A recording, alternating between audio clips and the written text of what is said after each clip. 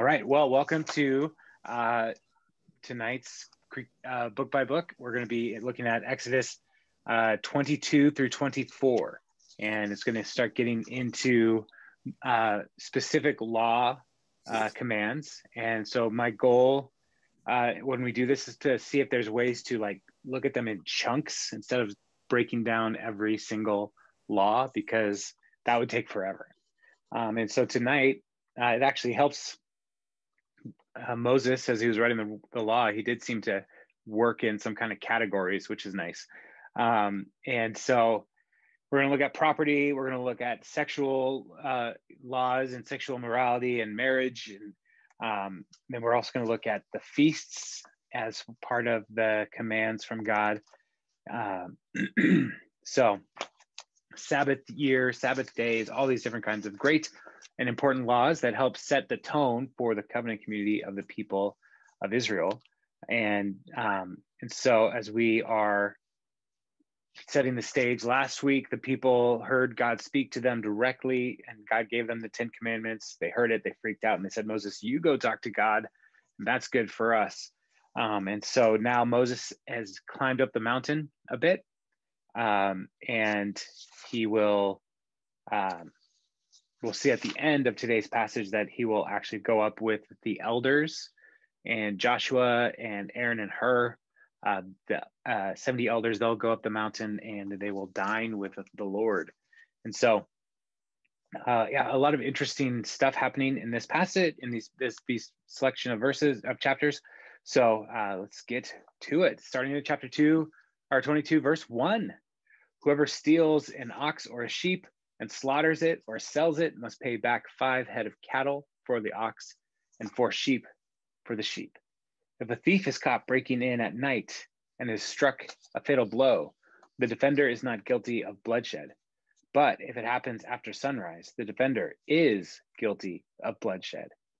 Anyone who steals must certainly make restitution, but if they have nothing, they must be sold to pay for the theft.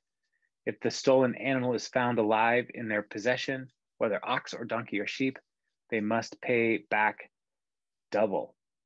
Um, so, as we walk through, one of the things that is um, interesting as you may, as you read through the law is, you know, there are uh, law. Most laws have a a restitution right away. Um, so, like if you steal, like in these examples, you have to pay back fivefold or double. Um, there was no real concept of prison uh, in the law in the Old Testament because uh, partly, if you think about it, the uh, people of Israel, as they were receiving the law, they didn't have a place to build prisons, so because they're nomadic at this point.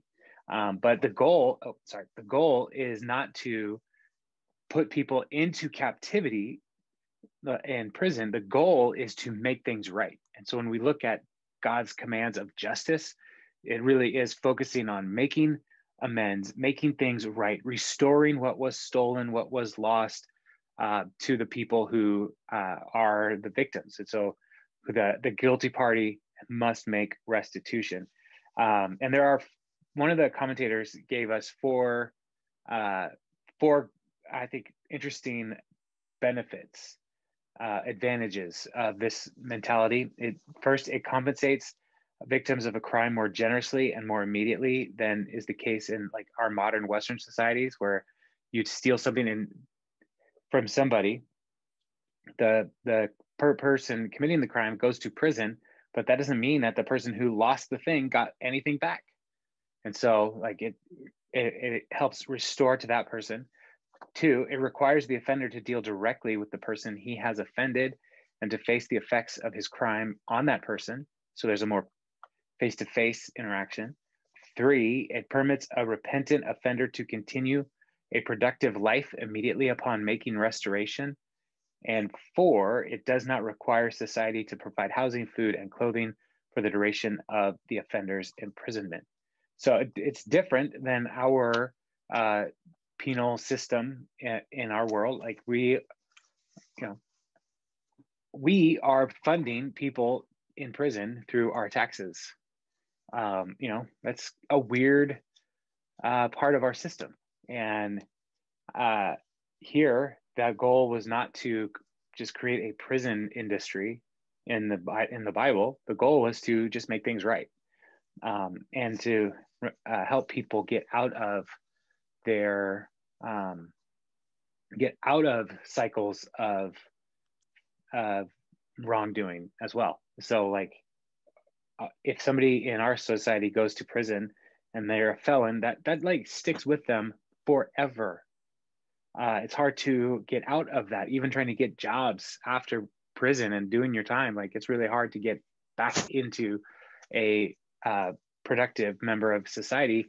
And so here uh, in this system, but they are not trying to punish people forever, which is nice. So what are the the laws here? The first things are looking at protection of property. Um, and so if somebody steals an ox or sheep and slaughters it or sells it, then clearly this is a deliberate act. And so the law is saying like they must make amends here. Um, it is interesting that there's a difference between cattle and sheep. And so they must pay back five head of cattle for the ox and four sheep for the sheep.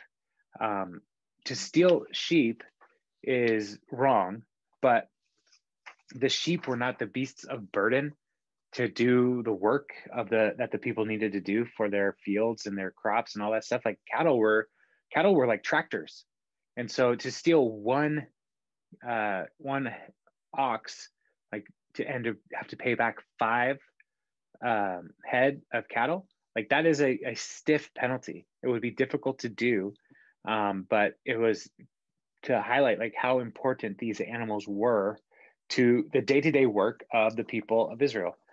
and so, um, so like that, I thought that was just an interesting difference. And so the ox pun- punishment is much more substantial. Then also we see burglary. There is a right for in the Old Testament law for people to defend themselves and defend their property. Um, and here, like if somebody is breaking into your house at night and in the altercation, the homeowner kills that person, they're not guilty of bloodshed. But if it's daytime, they are. And one of the reasons why is like if somebody is breaking, like the theory is like if somebody's breaking into your house during the day, it would be a lot harder for them to do that. But also, you could see if they are armed, if they are dangerous, whereas at night you can't see as well. Um, and so you are operating in a different set of circumstances. Um, and so again, like it's not just a stand your ground and like, you know, if anybody steps on my land anytime during the day, I, I have every right to shoot them. That's not at all what the law in the Old Testament is. Like if they come in at night and try to break into your house, you have the right to defend yourself. And if they die, it is not your uh, it is not your fault that they died. You're not guilty of it. Um, and uh, one of the interesting things here as well if, about this is from a biblical theologian named Brevard Childs, who's very interesting. A lot of really good stuff from Childs. He says this about the of the law. To my knowledge, no other law code, speaking of the people of Israel, no other law code seems to have a similar concern for the life of the thief. In all ancient law codes, like there is no real desire to defend the life of the thief, but the value of life in the Hebrew culture and in, in God's law is so high that even people who have done wrong, like he does, there are commands to limit punishment to those people. Like you can't just wipe them out. Um, all right, and then a little bit more about property uh, in verse five. If anyone grazes their livestock in a field or vineyard and lets them stray and they graze in someone else's field, the offender must make restitution from the best of their field or vineyard. If a fire breaks out and spreads into the thorn bushes so that it burns shocks of grain or standing grain or the whole field, the one who started the fire must make restitution. Um, and so, again, the law here is, is essentially saying, like, take care of your stuff, be mindful of what you are doing and how it affects other people. And so if you are just mindlessly letting your your flocks and oxen graze wherever they want and they take stuff from your neighbor's property, then that's your fault. You were being negligent.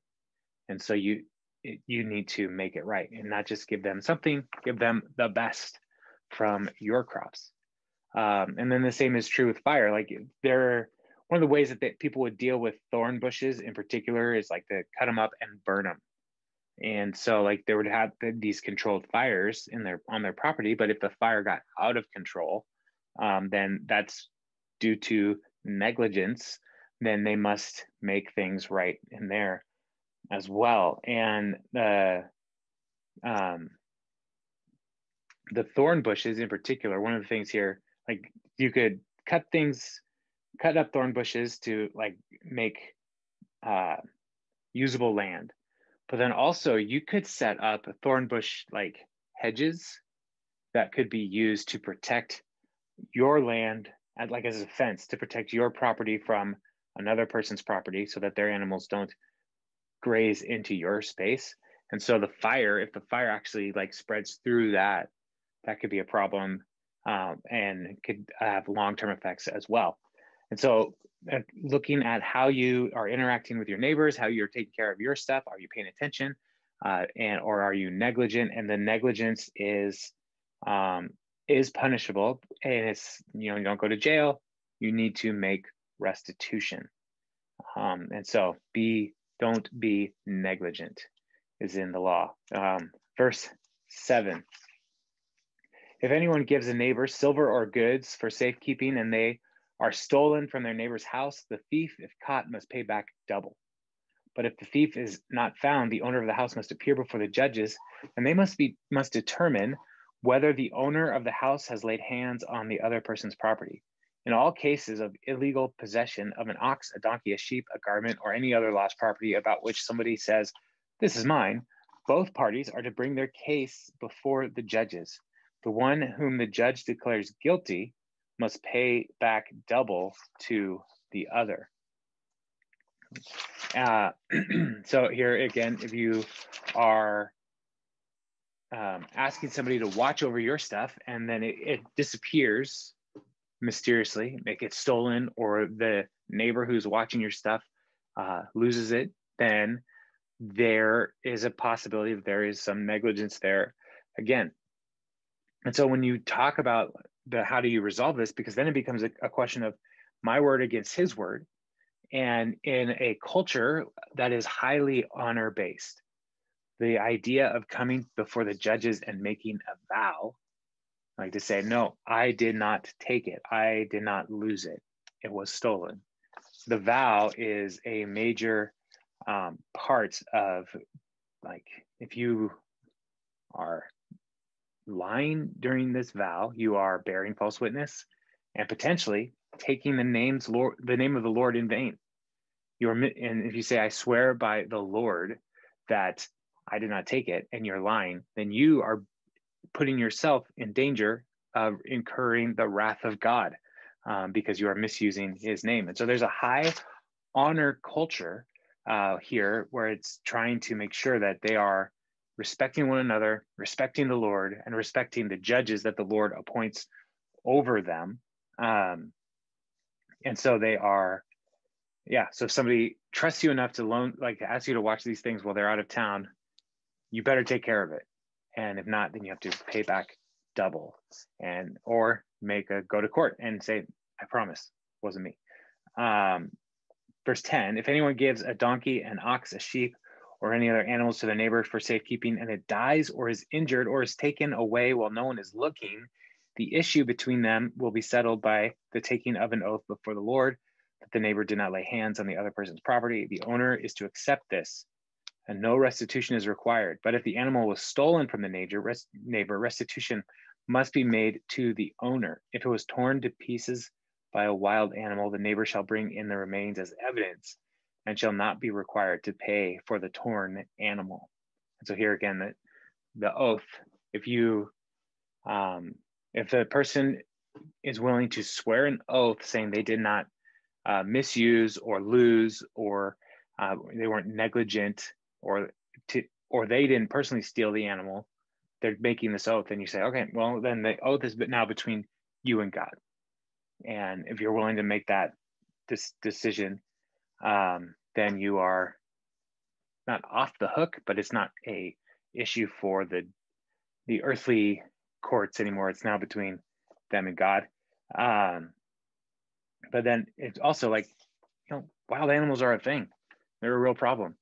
And so if you are able to prove to the the court, like, look, here are the remains of this animal that got torn apart. Like, I didn't do this. Then that also will make sure that you are not able to be uh, unjustly prosecuted for things that are outside of your control. But if you think about it, like so you're taking care of somebody else's flock, then you should be treating them as well as you would treat your own. And so if there is any way to protect against the uh, wild animals coming and destroying animals in the in your flock, then you're going to do everything you can to make sure that doesn't happen in a culture, an agrarian culture like this. So, um, yeah, so it's a lot of trust and honor happening in this the, these laws here.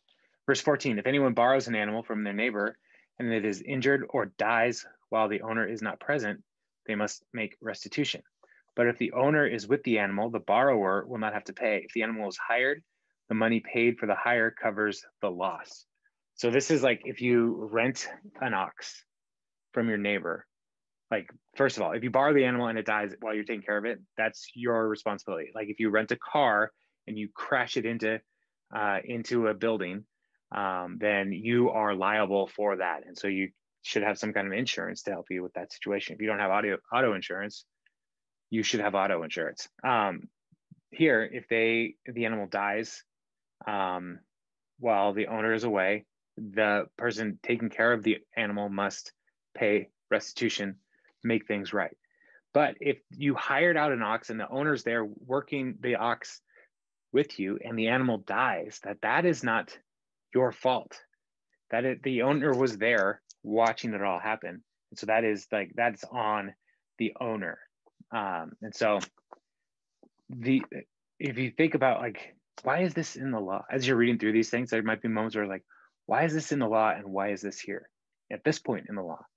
And recognize that God is putting together uh, rules for society that will help make it easier for the people to get along with one another. And the main thing that they are dealing with in their culture is as nomads, as shepherds and herders, uh, is the animals.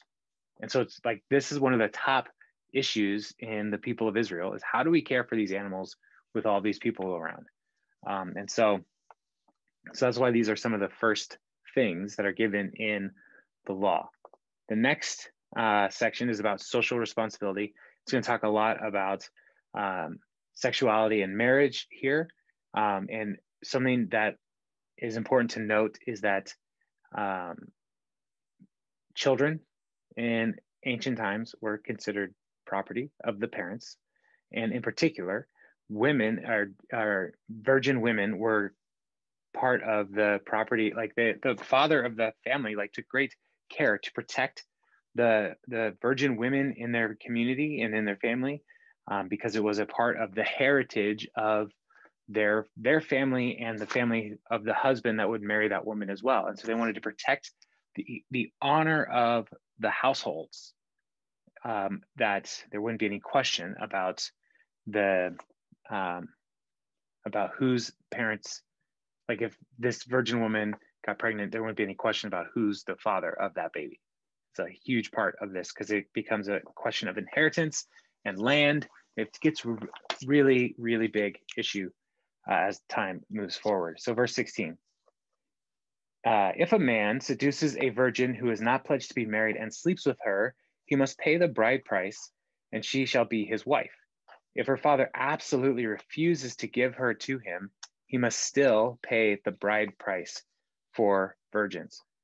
So, an unmarried girl, um, if she uh, is seduced by a man and sleeps with that man, then that is a the, the man will have to pay the bride price. So he can pay the bride price, which is something that would be established by the culture, like the region, the town leaders, all this different stuff, the families, uh, all of these bride price things were flexible, um, but they would have to the, per, the the man would have to pay it, even if they didn't marry this person, he would ha- have to pay uh, that bride price, and the father had the absolute right to deny the uh, a man the right to marry his daughter, um, and so it was something that you know we think about as like it's degrading to think about in our culture. Like is it just is are women just a piece of property? But the real issue is that they they are trying to honor the women in in this in these societies. In so many other cultures women were worthless. And here the the people of of israel are commanded to like esteem women and recognize that like you shouldn't just sleep with people just because you want to sleep with somebody. And so there are great costs for um, for pursuing lust in this way and so um, so arranging these kinds of laws about bride prices and dowries and all of this stuff is to honor and protect families and women in, in particular. And so when it talks about, um, you know, here it's talking about seduction and not rape. Rape is going to be a different thing that we will cover in the law in the future. But this is just to say, like, two people um, are, uh, they end up sleeping together, then that has a cost. And in um, in the law, premarital sex is discouraged for several reasons. Um, and so this is from the uh, IVP Bible background commentary. Uh, it, the first reason it was it's discouraged is it, it usurps the authority of the father to arrange the marriage contract. So it takes the father really out of the planning and establishing the family lines. It diminished the potential value of the bride price. Um, it prevented the husband from being assured that his first child was indeed the his offspring um, and so this law regulated illicit premarital sex by imposing uh, forced marriage on the culprit and or fine equal to the bride price for a virgin. And so it's, um, it seems archaic. It seems strange in our culture where people talk about sex in a like non-commitment kind of way. But for God's design for human sexuality, like there's a huge value placed on sexuality and and human uh, human sexuality and and marriage huge value and so it's not something that is meant to just be something that has no commitment and no consequences and so to treat it with no commitment like there are consequences in the bible's law. And even now like as we think through uh, in our culture today like this is so different what from the rest of the world um, that like the church you know we are often hung up in the church about issues of sexuality because we're trying to like make sense of what's going on in the world but the goal should always be let's get back to god's design and god's standard. Let's not try to regulate people who are outside of the community of god. Let's not try to like solve their problems. Let's like let's show an example of what human sexuality the way god designed it and how that can be how that can lead to flourishing and and blessing for people. Let's put a higher value on these relationships and show that it is a good way to move forward for the people of god and you know people will look at the church and uh, christian uh, christian practice around you know the traditional biblical understanding of sexuality and people will say like oh, that's weird but we don't have to deal with their that thinking that's weird. We have we are called to honor God with our lives and our our, our families and all of that. And so um, when we go through these laws on sexuality, there's going it's going to come up a couple other times in the Bible. You know, keep in mind that it is honoring the family, it's honoring women, and it's putting a high level of commitment on sexuality. Um, and so we should seek to honor God's design for sexuality in that way. Um, the next section of laws are kind of uh, the well the first one is looking at the, the next three laws look at religious practices okay? So starting in verse 18 do not allow a sorceress to live. Anyone who has sexual relations with an animal is to be put to death. Whoever sacrifices to any god other than the lord must be destroyed. So these are uh, these are questions of idolatry and witchcraft and they're all tied to the religions of the Canaanites. So the people are going to be going into the land that the Canaanites are currently occupying. And so the Lord is saying, like, all of these things, this, these are no goes, these are non starters for the people of Israel.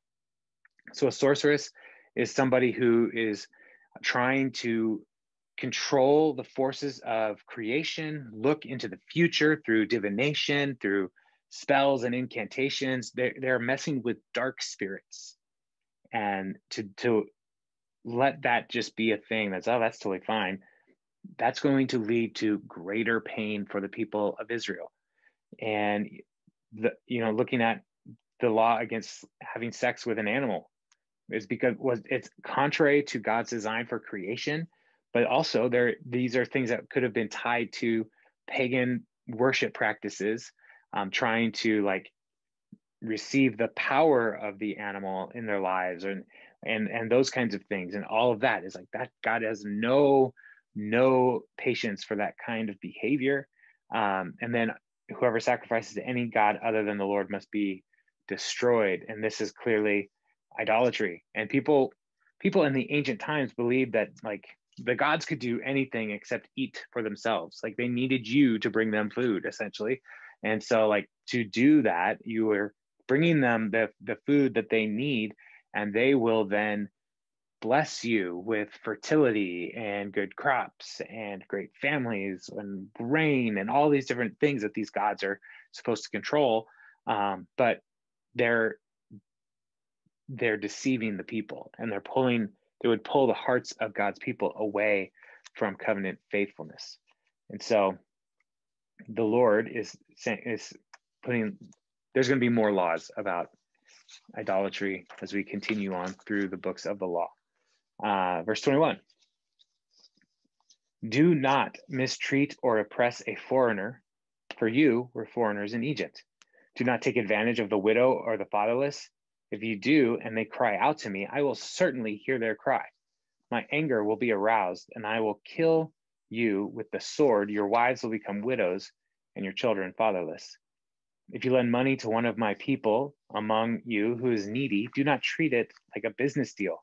Charge no interest. If you take your neighbor's cloak as a pledge, return it by sunset, because they, that cloak is the only covering your neighbor has. What else can they sleep in? When they cry out to me, I will hear, for I am compassionate and all of these laws are uh, caring for the vulnerable in your community. And there's a, a quartet of the vulnerable that we see mentioned often in the law and the prophets the poor, the fatherless, the widow, and the alien among you, the, re- the, the resident uh, alien, the foreigner. Um, all four are people groups that the Lord cares for greatly, and He wants His people to care for them. And so, even the first of these commands, like do not mistreat or oppress a foreigner, for you were foreigners in Egypt. You know, the people are months out from having just been separate, like liberated from slavery. And the Lord in the in his law about caring for foreigners, like remember how they treated you? Don't treat other people that way. Remember, remember, always remember the, the compassion and grace you have received. Pass that on you know one of the things that drives me nuts about our current culture in america is how many people are just anti-immigrant uh, immigrant of any kind. And you know looking at our country and knowing where like as a white person knowing where white people come from they didn't come from north america. They came from europe.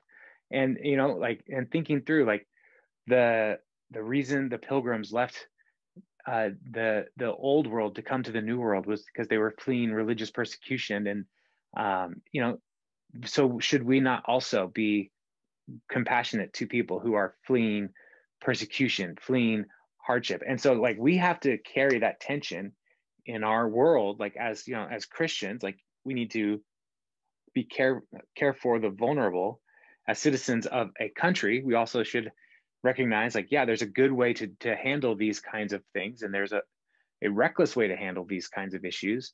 But we can't just say like immigrants are terrible. That's part of the challenge that our country has to reckon with right now is because we're all we're all immigrants. Our families i i can say with pretty good confidence that none of our families are 100% from this continent in their origin. And so we have to recognize like we, we move around and you know we should care for the vulnerable including the foreigners among us the resident alien the ger is the hebrew word ger. Um, we should care for the ger. Um, and then also like looking at widows and the fatherless. These are people who like the, the the father was the breadwinner. They were the one who was able to do work to provide for the family. And so if the father is dead and there's a widow and children who who's going to take care of them? There was no welfare state. There was there was no like uh you know food stamps and WIC and those kinds of things and so the people we're supposed to care for them. And so there's going to be laws about how to ensure that you don't use up all of your land um, and all the crops. You don't keep them for yourselves, but you leave some for the vulnerable, the the widow, the the orphan, the foreigner, the poor. These are all going to be part of God's heart for the people. Um, and then even loaning money. If you like, the people of Israel were not supposed to take any kind of interest on loans among their own people. Um, that's already that's that's the part of the law. But looking at a loan to the poor, like don't just treat it like business. Don't like be compassionate with them. And so if they have nothing to put up in collateral and they're at the point where they're just saying like, here, take my coat, my my outer garment, and I'll just work basically in my my boxer shorts uh, I will, and and then like you're if that's the case for this person, and they're just trying to make some money, you can't as the the landowner who's hiring these people like say, well, I'll give you the coat when the job is done. Every night, you give them their coat back so that they can sleep and not be cold. And so, like the idea of loaning money uh, and resources to the poor is like, I'm not just trying to get something from you. I'm not trying to take advantage of the poor. I'm going to protect them as well. So, so these kinds of the, this is like the first time where we see the quartet of the vulnerable kind of lumped into one law play, uh, place in the law, and that's going to come up again and again. And when we look at the prophets and their words against the people of Israel, often it's because they neglected to care for the vulnerable. And um, if it wasn't caring for the vulnerable, then it was worshiping idols um, and disobeying God. So these things are all part of the high priorities for God in the covenant faithfulness is that they would trust him, that they would care for one another, and that they would not turn towards idols. Uh, so let's go, uh, verse 28. Do not blaspheme God or curse the ruler of your people. Uh, do not hold back offerings from your granaries or your vats. You must give me the firstborn of your sons. Do not do the same with your cattle and your sheep. Let them stay with their mothers for seven days, but give them to me on the eighth day. You are to be my holy people. So do not eat the meat of an animal torn by wild beasts. Throw it to the dogs. Um, so do not blaspheme God. Blasphemy is uh, denying the authority and the power of God to misuse the name of the Lord your God. These are all part of blasphemy. Um, so don't do that or curse the ruler of your people. And recognizing that in Israel's society, the king that would be coming later was appointed by the Lord. and so to to curse the king is to curse the Lord. And so that's part of what that, that law is getting at. But then also like giving offerings is one of the ways that you trust the Lord and honor God. Excuse me. And so don't hold back your offerings, but to give those as the Lord commands. And there's going to be more explanation on offerings and, and uh, tithes and all that kind of stuff as we continue on. Here in verse 29, you must give me the firstborn of your sons. Uh, that, is not saying like human sacrifice your firstborns. That's never something God wants. Instead, the there are going to be laws that talk about the offerings for uh, firstborn sons as a way of buying them back from the Lord. And remember that God saved the people of Israel in the last plague was the plague on the firstborn, and so every firstborn uh, in the people of Israel is essentially like due to God. Like it's you owe the firstborn son to God. And so how do you get how do you walk in favor with the Lord is to purchase it back and by purchase the son back by giving an, an animal in its place. And so there's a substitute. And substitutionary atonement is going to be a part of the the law um, in the Old Testament when we talk about sacrifices. These animals take our place for our sins. And so, um, and then the that giving animals like in, on the eighth day, the firstborn on the eighth day is giving the um, the the animal enough time to develop, to the firstborn of that animal to develop to um, yeah to be a healthy transition from womb to uh, for the the mother uh, then also to the to be able to live long enough for the mother's nutrients, all these different kinds of things. There's there's like some good health reasons here for why to wait until the eighth day. Uh, all right, chapter 23. These are laws of justice and mercy in the heading on the NIV. Do not spread false reports. Do not help a guilty person by being a malicious witness. Do not follow the crowd in doing wrong. When you give testimony in a lawsuit, do not pervert justice by siding with the crowd, and do not show favoritism to a poor person in a lawsuit. If you come across your enemy's ox or donkey wandering off, be sure to return it. If you see the donkey or someone who hates you fallen down under its load, do not leave it there. Be sure you help them with it. Do not deny justice to the poor people in their lawsuits. Have nothing to do with false charge, and do not put an innocent or honest person to death, for I will not acquit the guilty. Do not accept a bribe, for a bribe blinds those who see and twists the words of the innocent.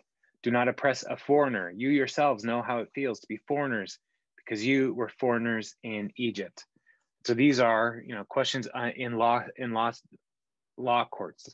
Do not spread false report, reports. Do not help a guilty person by being a malicious witness. So don't lie and don't carry water for liars. Like if something's uh, not true, then stand up for the truth and say that is wrong and i can tell you why. Um, and don't just go along with everybody saying like oh yeah no i think it is. And then you get lumped up into the the, the group of wrongness the, the crowds and the mobs.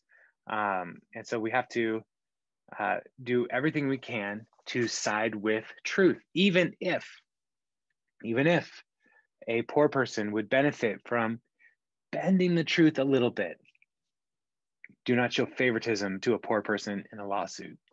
Don't take advantage of the poor, but also if the poor person did something wrong, then they did something wrong.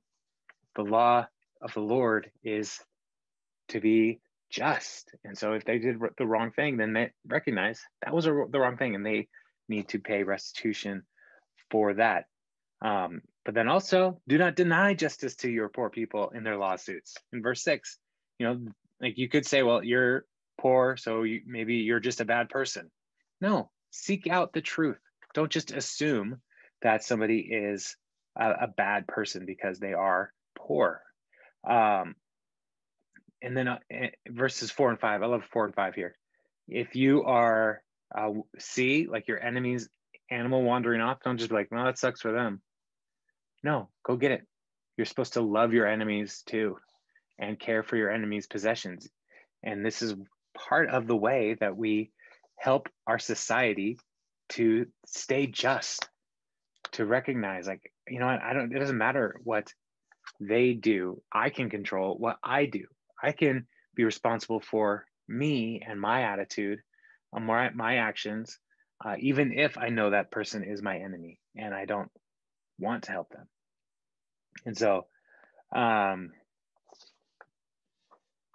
and so having all of these kinds of laws in the midst of laws that concentrate on honest, godly behavior in cases of lawsuit, God is in effect saying to his people, in the midst of giving you laws about lawsuit behavior, I want to insert a reminder that I expect you to truly love your neighbor in every situation, no matter how your selfish inclinations might cause you to feel.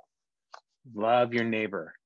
So when Jesus says, like the greatest laws are love the Lord your God with all your heart, soul, mind, and strength, and love your neighbor as you love yourself. Like these are what they look like. Loving your enemy, loving your neighbor, like this is all part of it. And sometimes it's hard to do that because there are real jerks in the world. And like we love them anyway because we do not want to be jerks. Um, all right, verse 10. This is laws about the Sabbath. For six years, you are to sow your fields and harvest the crops, but during the seventh year, let the land lie unplowed and unused. Then the poor among your people may get food from it, and the wild animals may eat what is left. Do the same with your vineyard and your olive grove. Six days do your work, but on the seventh day do not work, so that your ox and your donkey may rest, and so that the slave born in your household and the foreigner living among you may be refreshed. Be careful to do everything I have said to you. Do not invoke the name of other gods. Do not let them be heard on your lips. Um, and so the law of the Sabbath, the first part of this that he, the Lord gives us is about letting the land lie fallow, uh, letting it rest. Um, and as we look at like what that means, it's probably not that there were absolutely no crops happening for a whole year. What was probably happening was farmers would section off parts of their land and they would always have a part of the land that was like that part is not being worked this year. And then they would rotate through. And this is something that uh, good agricultural practices are still doing. Uh, crop rotation it helps get the nutrients back into the land uh, as the um, the the plants decompose and nitrogen and all the, the things that are necessary for healthy crops they all get worked back into the land because it, nobody is pulling the fruit and the the crops off. Um, but also during that time the poor can take food from that part of the land. So even in the by rotating crops every year there's a different section of their their farm that is resting. Um, that gives the poor food every year not just on the seventh year. And so um, so that's part of how they probably actually carried that out. But then there will be the 50th year where everybody is supposed to take the year off. Everybody is supposed to not do any work during that year. Um, and so that's a different thing, the year of Jubilee. Uh, but then even the weekly Sabbath is still intended to be a time to rest and refresh. So there's an annual Sabbath for land, so the land can rest and refresh. And then there is a weekly Sabbath for people and animals to, to rest and refresh. And this is part of the way that the Lord calls us to worship Him and honor Him. Um, and I do find it interesting that verse 13 says, uh, Do not invoke the names of other gods, do not let them be heard on your lips. The other gods were not giving days, people days off. They were not giving people a Sabbath rest. And so the Lord is trying to help set up a contrast between him and the false gods. Uh, and on Sunday, I talked about celebration and how the Lord gives us a, the laws to throw parties. So here are some of those parties uh, in verse 14.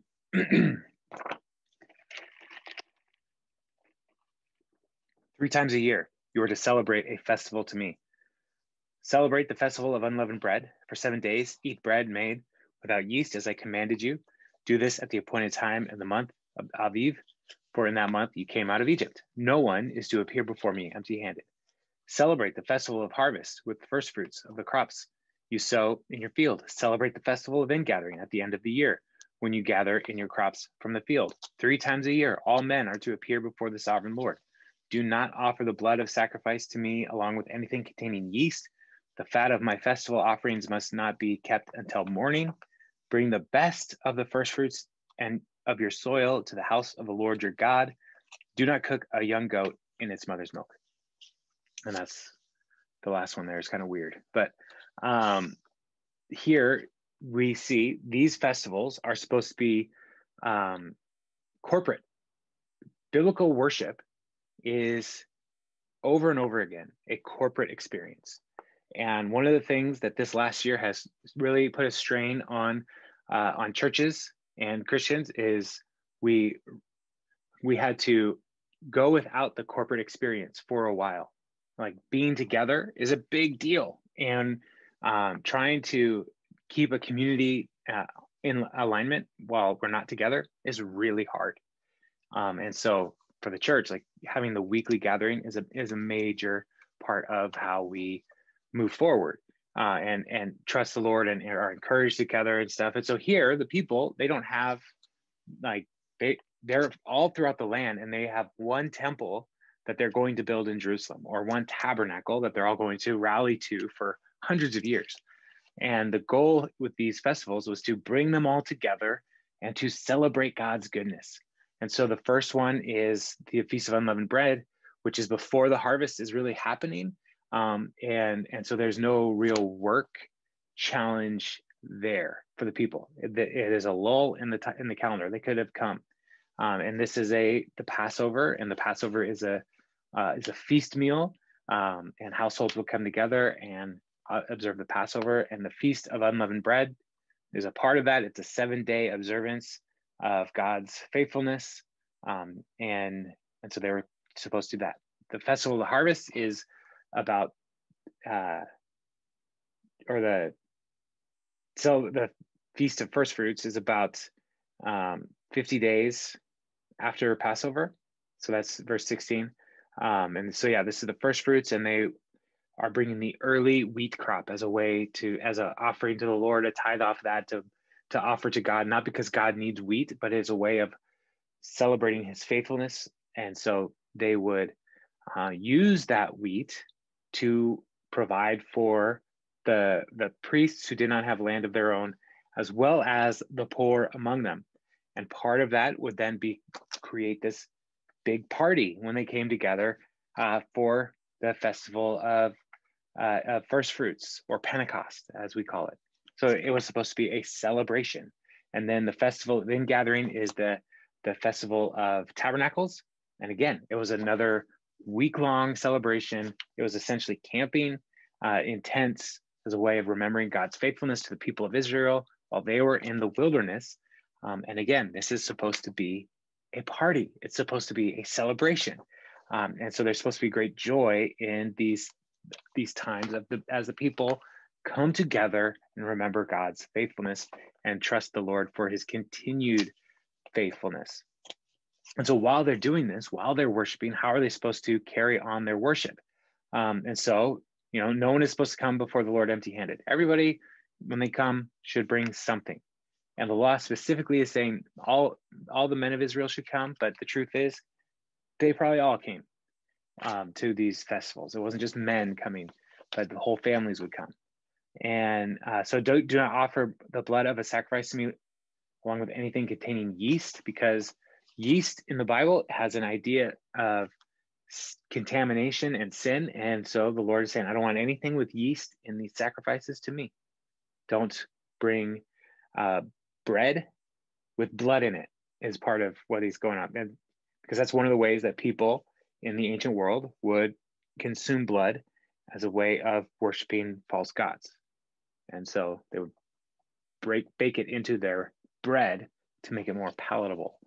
Um, then like the fat of the festival offering must not be kept till morning. Like as soon as you are making the offering, burn all of the fatty portions that are supposed to be designated to the Lord. Don't don't wait till tomorrow. Do it right now. Don't wait. Um, and bring the best of the first fruits of your soil. So don't just give like some of the things or the ugly apples or whatever. Bring them all bring the best, give them to the Lord. And then do not cook a young goat in its mother's milk. Um, now, this law is strange, but it is about mercy and compassion for life, for, for, for animals. So if you think about it, like the goat, uh, a pregnant goat gives it as a baby, and the firstborn is supposed to be offered to the Lord, right? And so, how are you going to offer that to the Lord? Well, you're supposed to burn it, but what as an as an altar on the altar. But what the other cultures would do is they would boil these animals in their offerings, and sometimes they would boil them in the in the milk of the mother, um, and the priest would then eat that animal. Um, but that mother's milk was also in that goat, the baby goat. Like that's how that goat was surviving. And so this is a uh, a, a, a reminder to be humane to the animals, even the animals that you're going to sacrifice. Treat them humanely. And one of the implications of this law is like it, it is not kosher to have meat and dairy. And so like the you're not supposed to have pepperoni pizza. And I did not know that. and having we used to rent our uh, school building in Northgate to a Jewish community of their school, and they were very kosher. And I had a whole bunch of pizza parties with the youth group, and they came in one day very mad and said, "You were having unkosher food in our kitchen, and now we have to go through a whole process to bring it back to kosher." And I did not know that you were not supposed to do that. So we, uh, yeah. So when you think about those kinds of laws. There are real world implications for today. Um, all right, verse 20. this is a break from the law now that we're going to get into. See, I am sending an angel ahead of you to guard you along the way and to bring you to the place I have prepared. Pay attention to him and listen to what he says. Do not rebel against him. He will not forgive your rebellion, since my name is in him. If you listen carefully to what he says and you do all that I say, I will be an enemy to your enemies, and I will oppose those who oppose you. My angel will go ahead of you and bring you into the land of the Amorites, the Hittites, the Perizzites, the Canaanites, the Hivites, and the Jebusites, and I will wipe them out. Do not bow down before their gods or worship them or follow their practices. You must demolish them and break their sacred stones to pieces. Worship the Lord your God, and his blessings will be on you, on your food and water. I will take away sickness from among you, and none will miscarry or be barren in your land. I will give you a full lifespan. I will send my terror ahead of you and throw into confusion every nation you encounter. I will make all your enemies turn their backs and run. I will send the hornet ahead of you and drive the Hivites, the Canaanites, and the Hittites out of your way. But I will not drive them out in a single year because the land would become desolate and the wild animals too numerous for you. Little by little, I will drive them out before you until you have increased enough to take possession of the land. I will establish your borders from the Red Sea to the Mediterranean Sea, and from the desert to the Euphrates River. I will give into your hands the people who live in the land, and you will drive them out before you. Do not make a covenant with them or with their gods. Do not let them in, live in your land or they will cause you to sin against me, because the worship of their gods will certainly be a snare to you. All right, so this is the law. The Lord is setting up a, a covenant with the people. A part of the covenant is remembering what God has done. I have brought you out of the land of slavery. And then it's like stipulations, like follow these commands as a way to honor the Lord. And then there are blessings that come along with following God. And so here we have the blessings that the God that the Lord will drive out the enemy nations, that he will go before them, that his angel will do this work. He will he will be a terror for these other nations. All of these things are reminders to the people that God will fight for them and he won't abandon them as they honor him. But there are these commands that say don't follow other gods, destroy every indication of idolatry in the land, do all these things as a way to keep the Lord God Yahweh focal point of your religious life in the land. Um, and so, as we are looking to what God is calling the people to do, He's asking them to trust Him, to receive His blessings, and to see Him fight on their behalf. And so this is all part of the covenant command that the Lord is putting together. Um, and so let's look at verse 24. I'm going to read all of 24 and then talk a little bit about what is happening here because it's a pretty cool scene. Um, then the Lord said to Moses, Come up to the Lord, you and Aaron, Nadab, and Abihu, those are Aaron's sons, and 70 of the elders of Israel. You are to worship at a distance, but Moses alone is to approach the Lord. The others must not come near, and the people may not come up with him. When Moses went and told the people all the Lord's words and laws, they responded with one voice Everything the Lord has said, we will do. Moses then wrote down everything the Lord had said. He got up early the next morning and built an altar at the foot of the mountain and set up 12 stone pillars representing the 12 tribes of Israel. Then he set, sent young Israelite men, and they offered burnt offerings and sacrificed young bulls as fellowship offerings to the Lord. Moses took half of the blood and put it in the bowls, and the other half he splashed against the altar. Then he took the book of the covenant and read it to the people. The book of the covenant is most likely a scroll, not an actual book like we have. Uh, they responded, We will do everything the Lord has said, we will obey. Moses then took the blood and sprinkled it on the people and said, This is the blood of the covenant that the Lord has made with you in accordance with all these words. Does that sound familiar? This cup is a new covenant in my blood. Do this in remembrance of me. Um, Jesus is calling back to these moments here in the uh, in Exodus, saying there's a new thing happening here. Um, Moses and Aaron, Nadab and Abihu, and the seventy elders of Israel went up and saw the God of Israel. Under his feet was something like a pavement made of lapis lazuli, as bright blue as the sky. But God did not raise his hand against these leaders of the Israelites. They saw God and they ate and drank.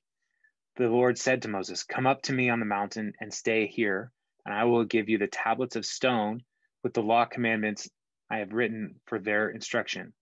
Then Moses sent, set out with Joshua his aide, and Moses went up on the mountain of God. He said to the elders, Wait here for us until we come back to you. Aaron and Hur are with you, and anyone involved in a dispute can go to them. Then Moses went up on the mountain. The cloud covered it, and the glory of the Lord settled on Mount Sinai for six days. The cloud covered the mountain, and on the seventh day the Lord called to Moses from within the cloud. To the Israelites, the glory of the Lord looked like a consuming fire on top of the mountain then Moses entered the cloud as he went up the mountain, and he stayed on the mountain 40 days and 40 nights. So the Lord has given the first understanding of the covenant to the people. And so now Moses is going down and saying, look, this is what this looks like. The Lord, you've I've he has told me this, and this is what he's calling us to do. And they say, Yes, we are for it. We trust you. We're going to do these things. And then God says, All right, bring up some of the elders and they will be with me. And they actually see the, the glory of God, but like just under his feet, not the whole, not all of God. They see under his feet and the his where is under his feet becomes like a a blue pavement. Now, one of the things that's interesting is what lightning does to sand. It creates glass. And uh, when we think about like God's presence there, the power, the majesty, and like on the mountain, He could have transformed the desert sand that's on the mountain into a glassy surface as He's dwelling there with them, which is amazing. And even more amazing is they see all of this, and it says that they didn't die be- because they saw God. They lived. God didn't strike them down. Instead, they have a meal with the Lord. And God is inviting them into a relationship, into communion with Him. And so they eat with the Lord. And that's when Moses then leaves the, the elders, Aaron and um, and Hur are basically the going to lead the people while Moses goes up to the presence of God for six days. Um, and then he goes up and he even further up the mountain where the glory of the Lord is dwelling in even greater intensity. And he's there for 40 days. So 46 days, Moses essentially is away from the people and he's up on the mountain. And while he's gone, not great things are going to happen. it's going to go bad. Um, so that's where we'll leave here um, because we'll see God with the people or with Moses in the next section. We'll see how the people respond to Moses' absence. Um, and so it'll be interesting to see how it all shakes out. So, any questions, any thoughts? There's a lot that we went over in these three chapters. Um, but yeah, I'd love to bring clarity where I can bring clarity. Is there questions?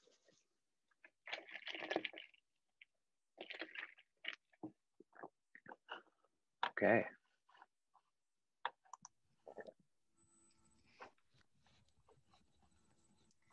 I think I've always thought of the um, the law about not uh, not boiling a young goat in its mother's milk as the beginning of the kosher laws as another way um, for God to set apart His people, because um, they were living in a time without refrigerator refrigeration. And um, so the kosher laws are kind of a way to keep people from getting food poisoning um, and keeping them healthy.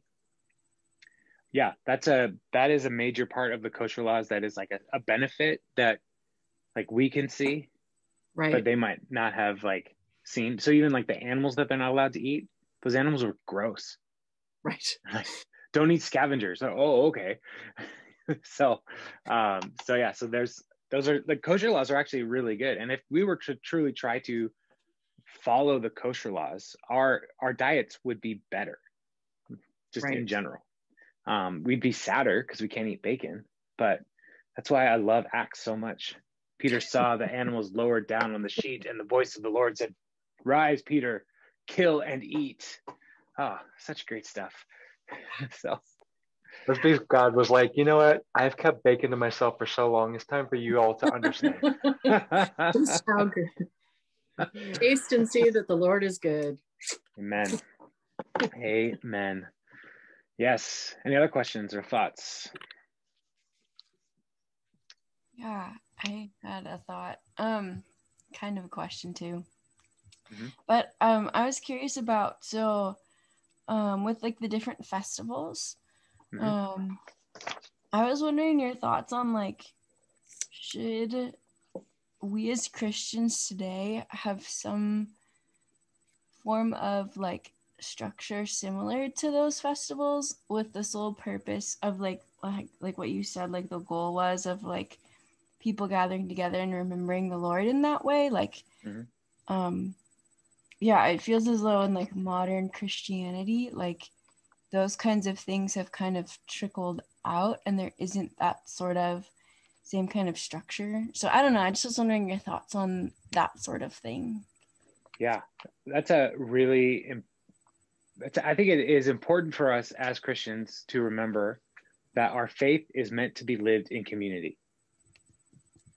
That, that is one of the key things that is uh, a struggle for modern Christianity because we have made our faith an individual decision and relationship with Jesus. And so, one of the challenges for the church in the 21st century is to find ways to reincorporate the corporateness of our church and our church community. Like we are in this together. And so um, I'm actually going to talk about this a little bit on next Sunday in the message. Um, I was looking at uh, Ephesians um, and talking about the usness of the book of Ephesians. Like when we read the Bible and we see you, sometimes we think me, but a lot most of the time in the new testament you is you all and so instead of thinking me we need to think we and um, and so that's a huge part of the challenge for the church in our day you're right sydney should we do these festivals it wouldn't hurt to do these festivals but there are traditions in the church of uh, of festivals that would be greatly beneficial for churches to re-engage with. Um, we have two every year that are pretty common, uh, Christmas and Easter. But Christmas, like the Advent season, is much bigger than just uh, celebrating the birth of Jesus on December 25th, because Advent has a season of preparation up to Christmas, but then it also goes beyond Christmas into the um, Annunciation, the dedication of Jesus, it goes not annunciation dedication of jesus um, Uh, and then also after the dedication of Jesus, there is the Feast of Fools, which is a celebration of God's um, divine humor in uh, how he uh, upsets the, the way of the world. And instead of sending a conquering king, Jesus, Jesus comes as a baby, right? And then after Feast of Fools, we have what uh, we would call Festival and Mardi Gras, which were church festivals that then got co opted by the world. Um, and so we like to reincorporate those kinds of things into our into our churches and to recognize the seasons and the festivals of the church calendar that could be really helpful um, for us part of the challenge is you start bringing those things into like modern protestant churches and people are like what are you catholic? We're not catholic. What are you doing? Um, and so you have to like kind of be delicate in how you bring those things back into your into the culture. So even like lent which is the season we're in right now like there's people who i've talked to say like i'm observing lent and like no that's a catholic thing. It's like no it's a christian thing. Like just preparing for the resurrection of jesus is is not a bad thing to do um and so seasons of of lament like lent and then also seasons of celebration like easter and Easter is not just one Sunday, it's Easter tide, which is weeks between Easter and Pentecost, like are supposed to be celebration weeks. You know, so yeah, Cindy, to answer your question, we should do stuff like that. so um but yeah, how we do it is um how we do it is a um, bigger question. So Jay, you have a question here. What is the Festival of Fools asking for a friend? um, it's awesome. It was awesome, and I it got really uh, co-opted by people, but it, it was like a roast in church, basically. So like if you know like the Comedy Central roast, like you would make mm-hmm. fun of somebody. Um, in the Festival of Fools, part of the tradition was that the under priests would make fun of the bishops uh, and like they would make fun of the power players in the community and um, and it, it was intended to be a celebration of joy and looking at um, at God's just divine humor and it is uh, I wrote about it a little bit in my dissertation because that's part of what I was looking at was comedy and community building and so finding these festivals and these rhythms like recognizing that comedy is not just about telling jokes it's about bringing joy, and the root of comedy is comida, which is also Latin for food and meals and all this stuff. Like this is all part of bringing people together. And so, but the challenge is, you know, bishops had a thin skin. And so then like, we shouldn't allow these people to do this anymore. And so the power people said, no. Um, so yeah. I mean, it but, sounds like it was something that was also meant to try to create humility you mm-hmm. know, mm-hmm. I mean, you're making fun of them, and it's a way to be like, okay, you know, I get it, funny, whatever. But you said you were talking about Christmas and Easter, and you know, his, historically, these have been put on these specific areas in order to, um, as you said, co-opt specific areas. Like Christmas was put in place where Yule was, which was a Nordic holiday, and then Easter was put on another um, holiday, which was for Ostara, um, which was also a goddess that was from a pagan deity. My question is Is there anything that can show when the birth of Christ or, or around the time birth of Christ actually was? And around the time that that Jesus's death was, that way we could truly um, celebrate them when they actually are. Does that am I making yeah. sense?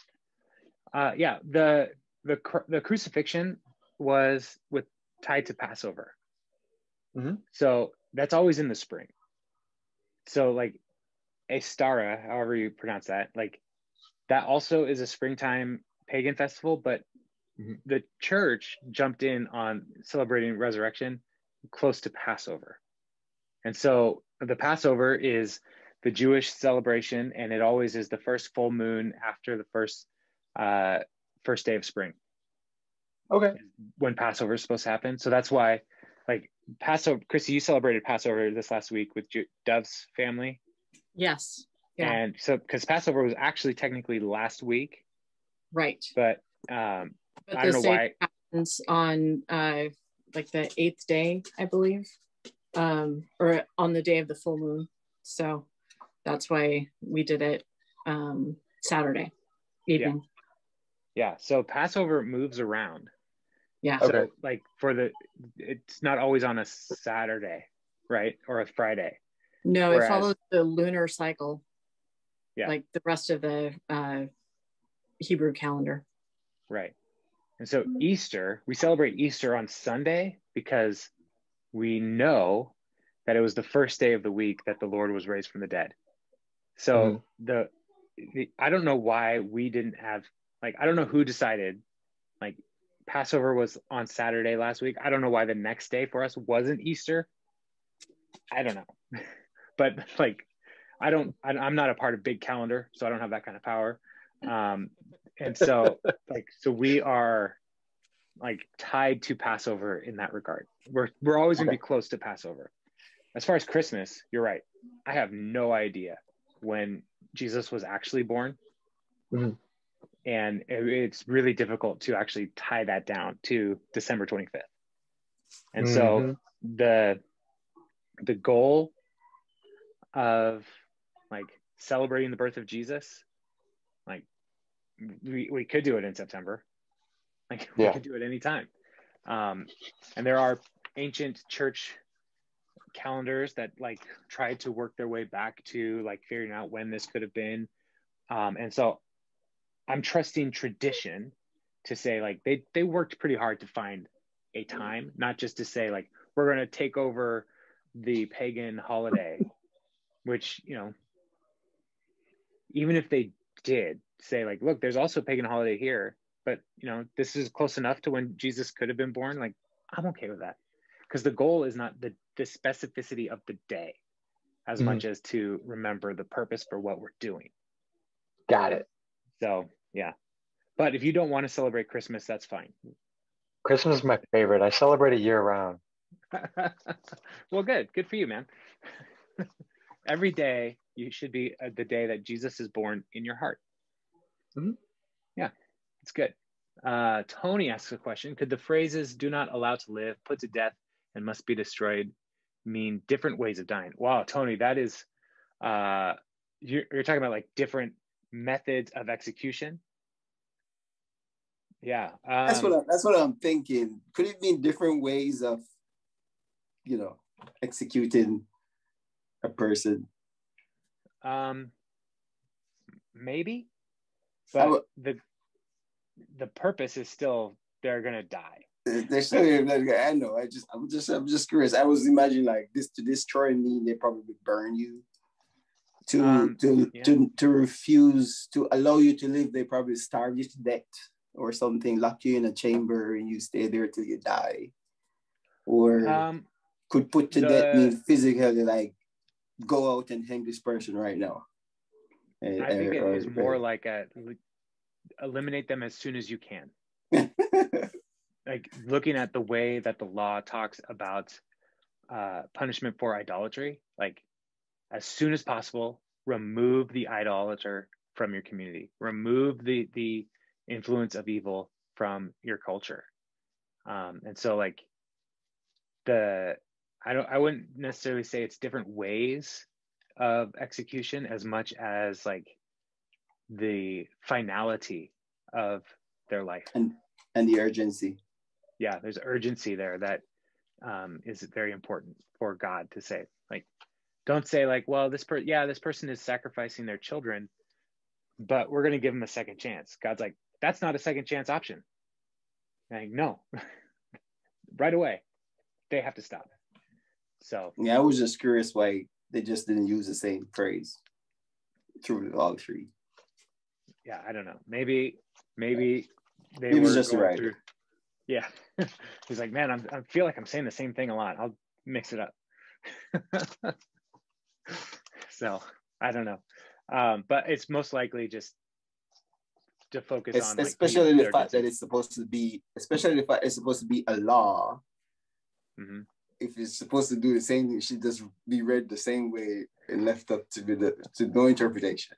So that's, that's curious. Yeah. yeah, I I didn't see anybody saying like to be not allowed to live is this or they must be destroyed is this. Like I didn't see any delineation of what those different things could have meant could have meant. So yeah, but good Trying question. to nail that APA style. What's that? you know. What's that, Jay? Or he's just trying to nail the APA format, you know, for the for the paper, making sure. Yeah. It's like I'm gonna get I'm gonna hit this word count one way or another. So yeah. Oh man. Oh, I don't miss those days. so yeah. Any other questions?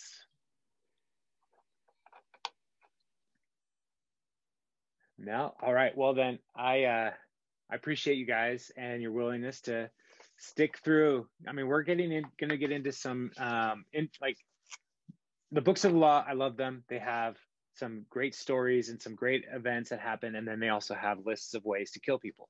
Um, so, or reasons to execute people. Like it's like not super fun um, reading, but then there's also really good reading. And so, thank you for sticking with us over the coming weeks. It's going to be uh, it'll be interesting for sure. So I have so many questions about that.